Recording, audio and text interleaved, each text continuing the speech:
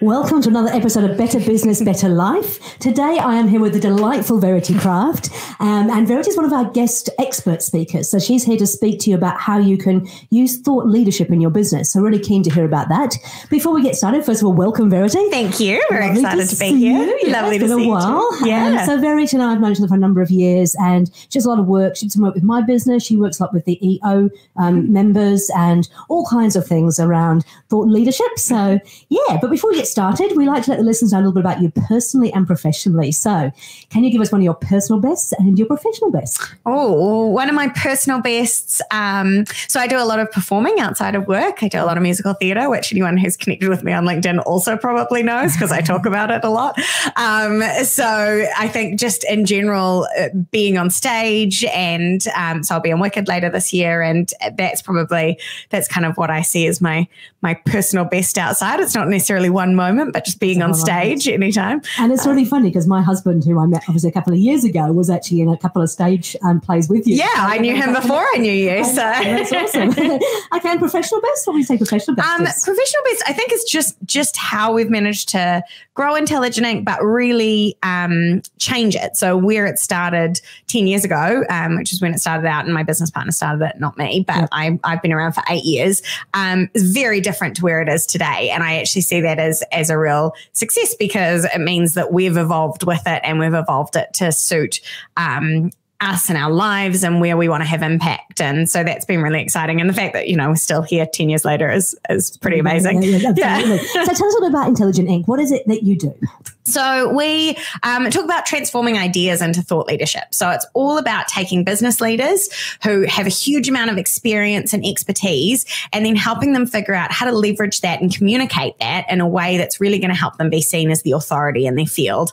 And what that does is then it helps them essentially become the most obvious choice for people. It helps them bring business into their business and it helps them have a wider impact so that they're helping more people as opposed to just who they can on a one on one basis within their business. Awesome. That's fantastic. So what kind of businesses do you work with?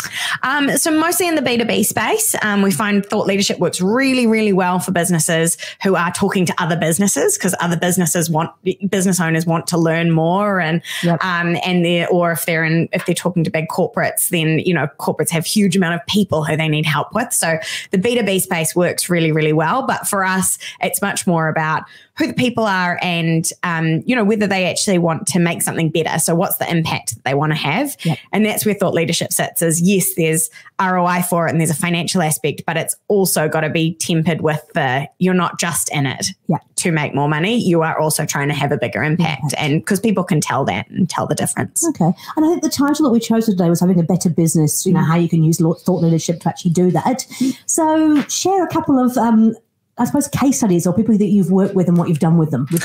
Yeah. So, um, one really good example is a company called Q4 Associates, who are an awesome um, consultancy who do basically help people create strategies and implement um, robotic process automation, which doesn't sound that exciting. And when when they came to us and were like, "We think we want to write a book about robotic process automation," we sort of went, "I'm not sure that we do, but okay." Um, but when we talked to them, you know, what we discovered really quickly was that it's about so much more than that. It's about change management. It's about really creating um, digital colleagues so that your human workforce and your digital workforce are working in tandem. So it's not about replacing your human workforce. It's about augmenting them and making them better. Okay. And so, and that was really exciting. So what we've done with them is worked with them both um, developing a book, which so um, Morris Juby and um, John, and now I'm going to get in trouble because I've forgotten his last name. Hello, John. John, we love you. Sorry. um, um, have just written a book that just came out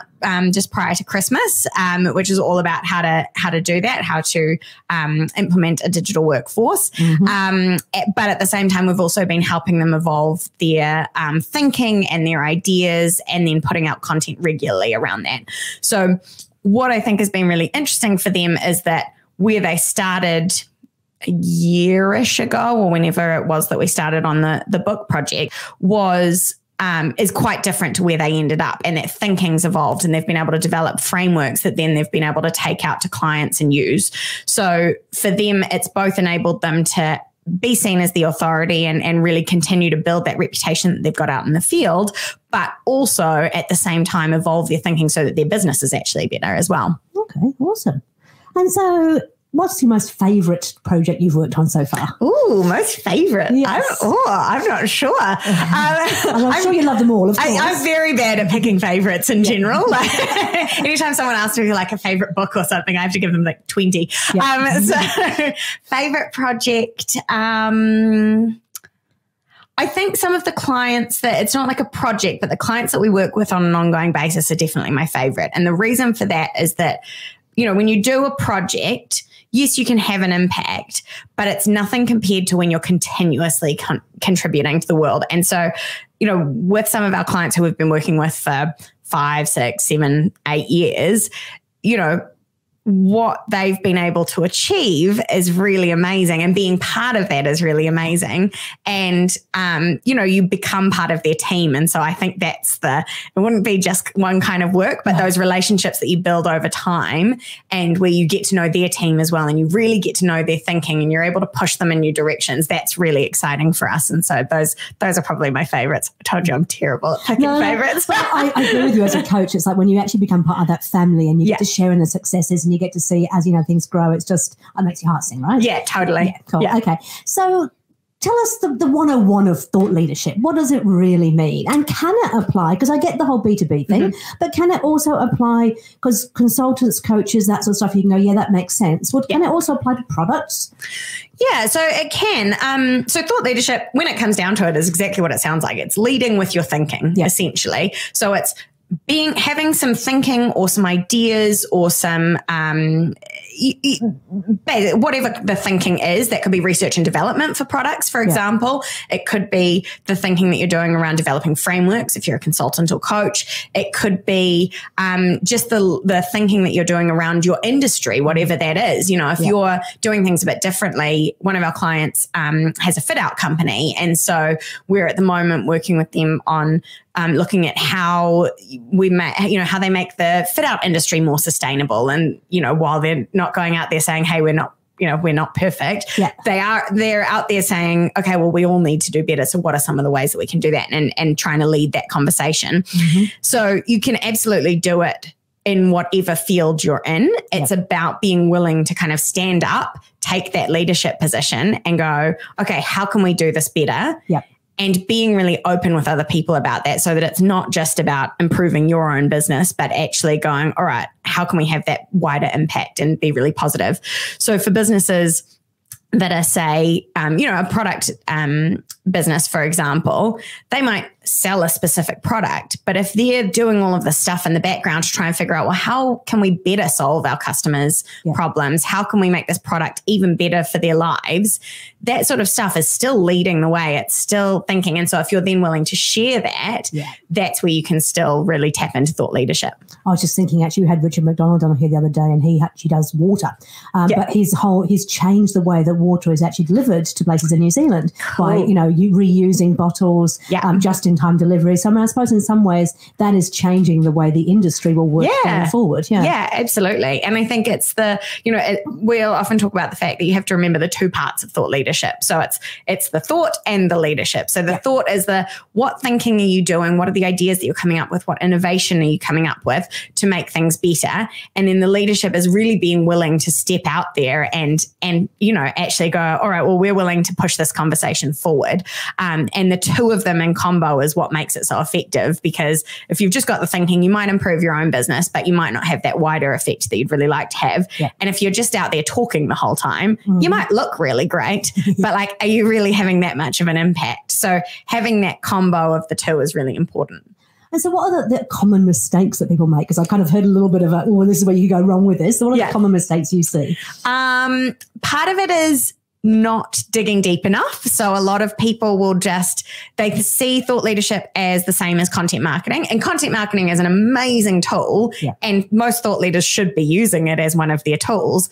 But it's a it's a tool. It's a way of doing something. So if you're just putting stuff out for the sake of it, Yeah. for the sake of putting out content, it's going to be really hard to then be seen as the authority and you're going to constantly having to be put out uh, put out more and put more promotion behind it because actually you're just saying the same thing as everybody else Sure. so it is always about taking it a step further you know how can you say something different how can you get people thinking in a different way or behaving in a different way Yeah. um So that would be one. The other one that I would say is um, just in terms of like building an audience and thing is is forgetting the human at the other end of it, um, and it's the constant promo, you know. Yeah. So it's it's remembering like why does someone want to give you their attention? You know, there's a lot of noise out there. Yeah. So really thinking about what's the value for the person that I'm out there talking to, whether that's via LinkedIn, whether that's in a conversation, whether that's speaking on a stage, you know, as opposed to it just being, here's how awesome I am. It's like, what's the value actually going to be for the person that um, that you're talking to? Yeah. And then the third one that I'd say is forgetting to bring it back into your business. So this is where I think there's kind of the two extremes as you get the people that we've already talked about who are like push, push, push, promo, promo, promo. Yep that really struggle to become seen as thought leaders because they're not giving the value.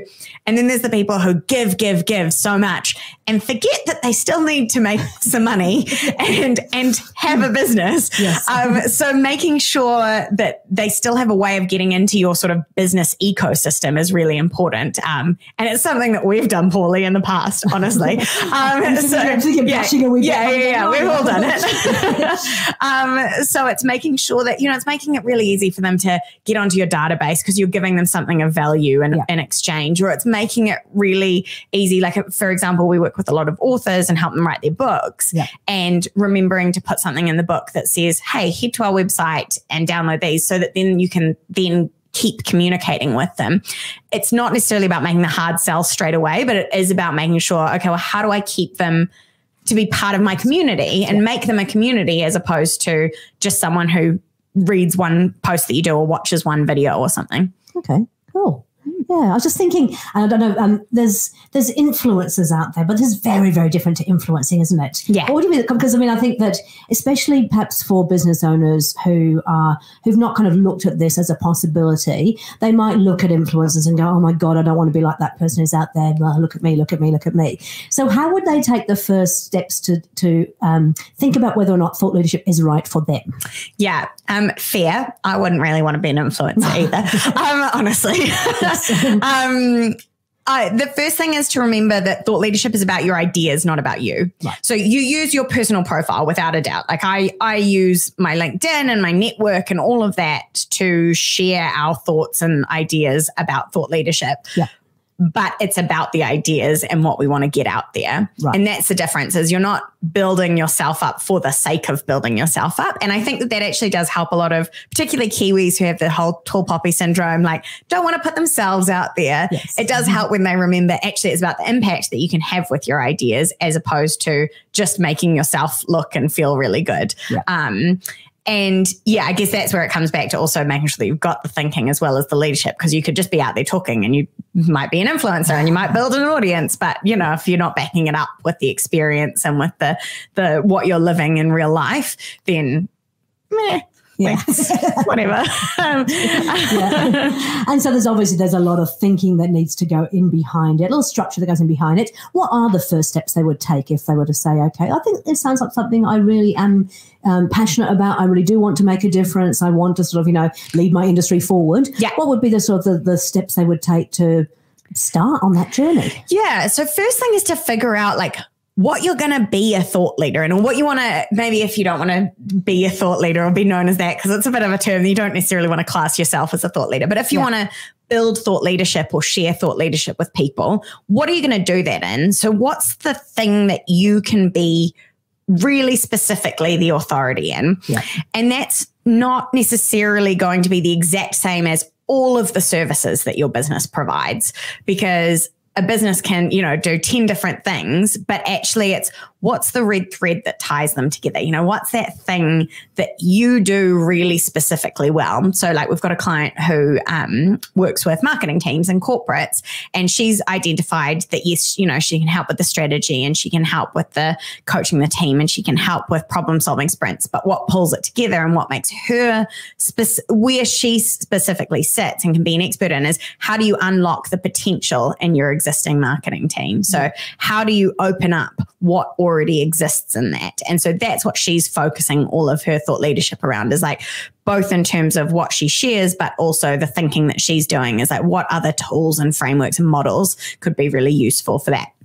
So that's the first step is figuring out like what can you be the thought leader in and um, i've got a resource that i'm happy to share with anyone who's keen if you comment or um, below then i can below i assume it's below it's below on it's, it's below somewhere and on we'll podcast Put a, we'll put a link on the Great, podcast perfect well. so happy to share that that's like Yeah. has some questions to just start you thinking in that way Okay. and then it's about starting to share. And, you know, we always recommend putting a strategy in place, but actually sometimes you're better to get started and then start to build out a strategy because otherwise you can stay locked for so long and trying to get it perfect that you never end up doing anything. So I always recommend starting to put things out on one or two platforms. Like LinkedIn is one that I really love using because I like being able to connect with people and have a network. And when I've got a new idea, I'll just make it a post. And it doesn't have to be perfect because it's not anything that I've put more than, you know, a few minutes into. But start trying out your ideas and seeing what people connect with. And then that way you'll get a feel for what you actually should be talking about and where you can really add value to people's lives. So it's Um, kind of like building an MVP. Yeah. You're going to go out there and say, hey, look, it's not going to be perfect because a lot of people do get caught up in that whole, Yeah. oh my gosh, I've got to get this absolutely right Yeah. because I put it out there, it's not right. People rip me to shreds. Totally. So it's more like building a little minimum viable product. You go, hey, look, I've put it out there, give a bit of a go, see what resonates, Yeah. what doesn't, and then build it from there. But don't just keep going ad hoc. Yeah. Yes, yeah, exactly. It's like an MVI, a minimum viable idea. like it's yeah. get something out there, see what connects, and then you can build a strategy around that. Right. Um, and when it comes to the strategy, it's it's about making sure that you know who your audience are, and and I always recommend going really narrow. So um, it's often called narrow casting. Is is be really clear on who you exist for, Yep. um, and talk to those people then it's going, all right, well, where are those people? What are the platforms that I need to be on? What kind of ways can I share content? And that doesn't just mean social media. It can also be webinars. It can be a podcast like A book. this. It can be a book. Yeah. Exactly. There's heaps of ways. And then the other thing is, and how are you going to bring them back into the business? So thinking about that ecosystem. Yeah. So it's the who you're talking to, what your message is, what that positioning is, um, where you're going to be, and then how you're bringing them back into the business. And if you've got those four things sorted, then you'll have a pretty solid strategy. Yeah. Perfect. Okay. So we always like to make sure that the listeners can walk over three th- simple things that they Mm-hmm. can do when they leave this this um not not a room because we're in the room they're not but when they leave the podcast. Yeah. So what would you say the three things if somebody is thinking about this? What would be the three things they could actually go off and do right now that Yeah. could make a difference to their business? Yep. So I'd say, first of all, start testing your ideas. So pick a platform. Um, LinkedIn works really well. I always recommend that. But, you know, if your audience aren't there, then don't you pick a different platform. Yep. But start trying things out. Just put things out and see what people connect with. Yep. Um, the second one I would say is start jotting down all of those things that you talk about with clients or with customers in conversation. You know, all those little gems that are the things they're like, oh, I hadn't thought about that, or oh, wow, that's really interesting, or Yeah. start collating all of those because you'll start to see some real trends around what the things are that actually people get real value out of. It's really interesting. I actually had a client who has started recording some of their sessions with their clients. great. Um, and it, you know, you've got to ask permission first, of Yeah, course. yeah. But if you do that and you like start listening back, you can actually get those little aha moments. Yeah. Like, oh yeah, that's right. I said something that was really valuable there. So yeah, Yeah, for sure. idea. Yeah. And then the third thing would be to not try and do it all yourself. And that's not necessarily just a plug for us, but I, like incorporate your team, Yeah. you know, get people involved.